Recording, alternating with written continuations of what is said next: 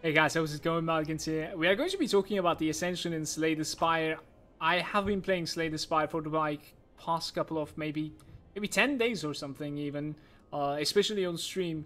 And um Alright, so what is Ascension? Ascension is something that unlocks after you manage to defeat every single last boss in the game. Um, so it is a little bit of RNG included. You don't necessarily know, you know, get to choose the uh, Act 3's boss whichever one that you're going to be fighting. And not only that, you will also need to defeat every single one of them. So it might actually take you a while, depending on how lucky you are with finding them and what type of decks you're going to end up finding them. But obviously, I must say that like you do get up to a point in this game if you continue playing where you will be okay with, with you know, almost every single run unless it is Ascension. Now, what is Ascension? Ascension is something that unlocks once you, again, kill every single last boss and afterwards uh, you're able to, you know, choose to ascend or, or play in that difficulty. And that is something, you know, progressively getting harder as you manage to defeat every single level of it. So the first level of Ascension would be elite spawn more often, so you're gonna like see more elites in every single act. Uh, the second one is going to be normal enemies are deadlier, which at that point I think the game gets ridiculously difficult. Um, at third point it becomes elites are even deadlier, and the fourth one, which actually was a goddamn wall for me that I was banging my head on stream for I think about like three straight days. Um, the fourth level of Ascension, it was the bosses are deadlier.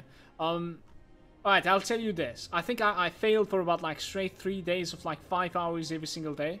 Uh, but today, today was a good day. I managed to like defeat not only four but also five on stream, and it was it was just a blast to be honest with you. I have been playing with Silent, but you can at any time, you know, you can at any time switch and their ascensions um they have their own ascensions at the same time should probably mention that too so i haven't been really playing in ironclad at all be honest with you i'm not that experienced with ironclad either i started playing with silent um the second that it unlocks because i i really really like uh, how the poison mechanic works how the power mechanics in the silent works but that's a little bit off topic right now. Yeah, I wanted to mention the uh, Ascension mode, and just today there was there was another small patch in this game that made the Ascension go from 10 to 15. Maybe in the future there's going to be more.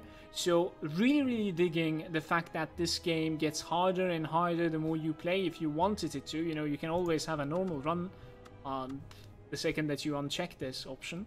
And um, if you wanted it to be almost impossibly hard, you click that thing, and it is it is it is really hard. Granted, I do suck at this game, but um, one more thing that I would like to mention that I extremely like about Ascension is the fact that I do feel like it is not always possible to beat it. So even if you play without any mistakes, even if you have chosen, um, you know, assuming if you have chosen the best path, even if you have chosen the best cards, the best synergy, I do still believe that RNG can, can you know, sort of fuck you over, and, and, and you you cannot necessarily finish that playthrough. Um, that is that is sort of a good thing and a bad thing at the same time. I do understand like it is not something you know like a math problem to solve. There's not necessarily an answer to it, but at the same time, it just drives me more to play more because like, is it going to be this run that I can defeat it? You know, I have to make sure that I, I've chosen everything right. I have to make sure that I don't misplay. And on top of that, is it going to be this run? You know, it, it is it is so hype. I, I have been extremely enjoying Slay the Spire. Uh, for the price tag that it has, um, if if you think that you will you will in, you know like this game whatsoever, uh, you should definitely try it out, I would say. So this was this was the Ascension Mode and I, I really hope that you enjoyed the video and it was useful. See you next time.